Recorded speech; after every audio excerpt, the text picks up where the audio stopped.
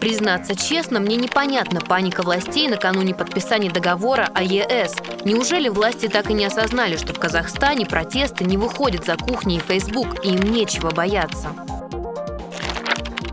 Если наше антиевразийское движение заставило всех их нервничать, сочинять пасквили, придумывать всякие гадости, нести несуразности, то мы добились своей цели. Нравится это кому-то или нет, но антиевразийство сегодня это не просто мероприятие, собрание или движение, а тренд. И мы сумели заставить всех говорить об этом. Игнорировать нас невозможно, чему я, конечно же, рад.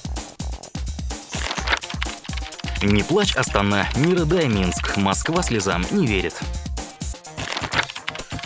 На заседании ожидается подписание договора о создании Евразийского экономического союза. Это из анонса на 29 мая. Что значит ожидается? Они не уверены? Это такая игра или... Или я выдаю желаемое за действительное? thank you